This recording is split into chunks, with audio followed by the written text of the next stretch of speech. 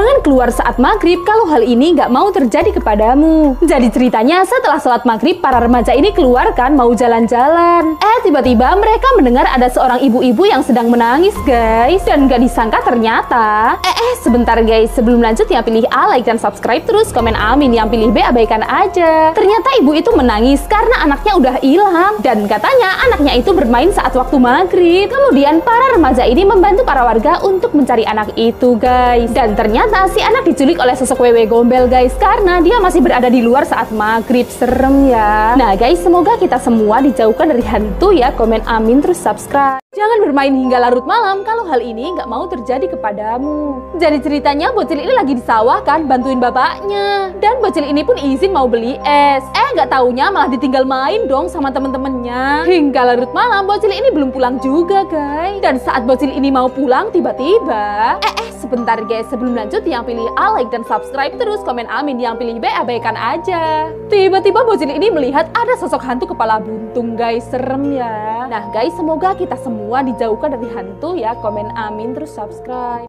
Hati-hati guys, jangan keluar saat malam Jumat Kliwon karena ini yang bakal terjadi. Jadi ceritanya pada malam Jumat Kliwon, tukang sate keliling ini berjualan hingga tengah malam guys. Dan pada malam itu di kampung itu sepi banget. Sampai tiba-tiba si tukang sate itu mendengar ada suara orang yang mau beli satenya. Tapi nggak disangka ternyata... Eh, eh, sebentar guys, sebelum lanjut yang pilih A, like dan subscribe terus, komen amin. Yang pilih B, abaikan aja. Ternyata di situ dia melihat di atas gerobaknya ada sosok hantu kuntilanak guys. Kemudian bapak ini berlari ketakutan dan pulang ke rumah. Tapi sampai di rumah, sosok kuntilanak itu masih tetap terus mengganggunya, guys. Serem ya. Nah, guys, semoga kita semua dijauhkan dari hal yang buruk ya. Komen amin terus subscribe. Guys, jangan tidur saat maghrib karena ini yang bakal terjadi. Jadi ceritanya bocil ini habis main sama temen-temennya kan. Dan saat di rumah menjelang maghrib, tiba-tiba bocil ini ngantuk banget.